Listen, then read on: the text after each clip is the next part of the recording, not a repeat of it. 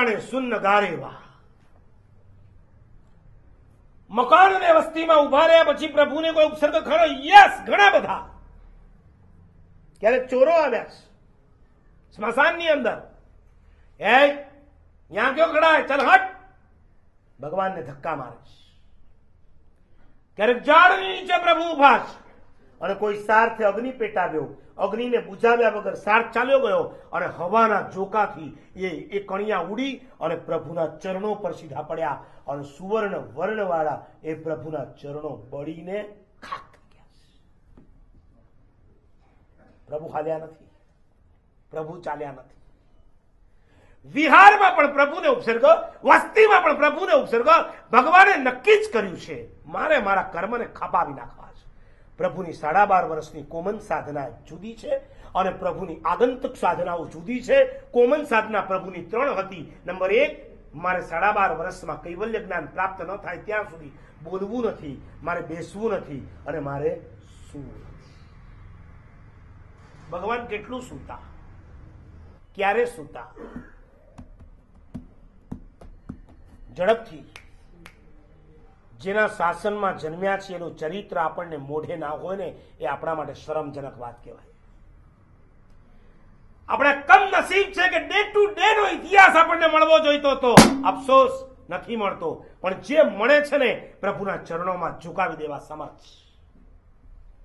એક વર્ષ પૂરું થયું સુલપાણીના ચૈત્યમાં પ્રભુ ગયા છે. ચાતુર્માસ, ચાલુ ચાતુર્માસમાં. અસ્થિગ્રામની અંદર સુલપાણી ચૈત્યમાં પ્રભુએ જ્યારે પ્રવેશ કર્યો, ના પાડી સૌએ મત જાઓ, મારી નાખે. ભગવાનને દેખાય છે કે મારી નથી નાખવાનો, હું એને તારી નાખવાનો છું. અને એક રાતમાં ચાર ઉપસર્ગ કર્યા, સાત પ્રકારની ભયંકર વેદનાઓ કરી. અને વેદનાઓના આ પહેલી જ વખત આટલો મોટો ઉપસર્ગ છે, દીક્ષા પછીનો. કોઈ દેવકૃત અને દેવકૃત પ્રથમ ઉપસર્ગ અને અંતે પ્રભુને જોખવા અડતાલીસ મિનિટ. સાડા બાર વર્ષમાં આ પછી પ્રભુ ક્યારે સૂતા ખરા? આ વહેલી સવાર હોય ને એટલે તમે કઈ બોલો નહીં એટલે મને જરા ડાઉટ જાય છે. એમાં પાછળ જરા અંધારું હોય એટલે ખબર જ ના પડે હું કરે છે. અને પાછું મોઢે બુકાની બાંધેલી હોય હું થાય છે એ જ ખબર ના હવે ગચ્છાધિપતિની સાથે વિહાર કરતા એકવાર મહારાષ્ટ્રમાં ગયા. ચાર દિવસ રહ્યા.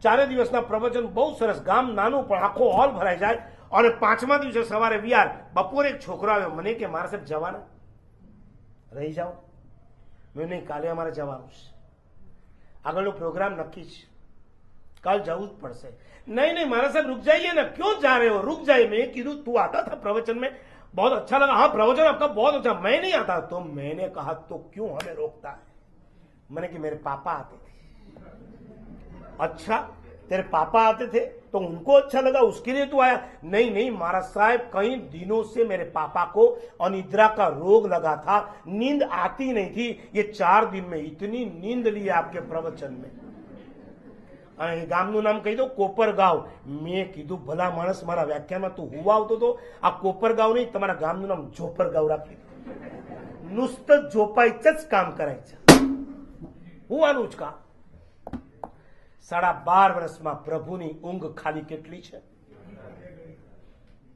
તમે ઉઠો છો વહેલા, એ બદલ ધન્યવાદ હા, રોજ કરતા વહેલા ઉઠો છો કે નહીં? અમુક લોકો ઉઠે છે, અમુક લોકો પહેલી વખત આટલા વહેલા ઉઠીને સાત વાગ્યાની અંદર આવી જાય એમાં શિયાળાના દિવસ હોય, ઠંડી ઠંડી હવા હોય. બહેનોને બે બાજુ મજા છે, લાડવા. સાતથી આઠનું હોય તોય મજા, અને નવથી દસનું હોય તોય મજા. નવથી દસ ના પ્રવચનમાં આવે ને તો ધીમે તાપે કુકર મૂકીને આવે.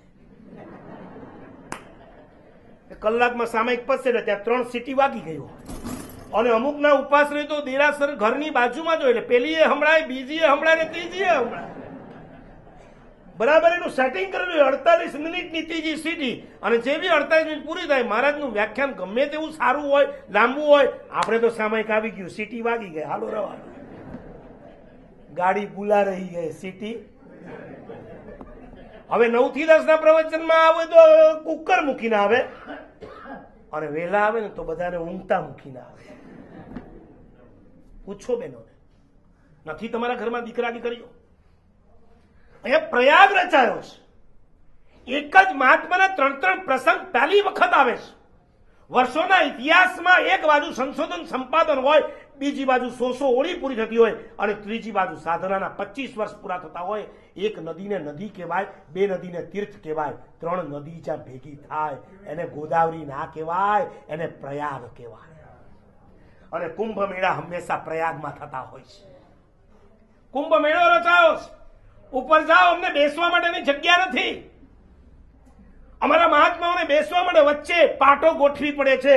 આટલા સાધવી, આટલા સાધુ ભગવંતો જાઓ તે બાબાઓ દેખાતા હોય છે ને કુંભ મેળામાં અહીંયા બધા થોડા બાબાઓ દેખાય છે.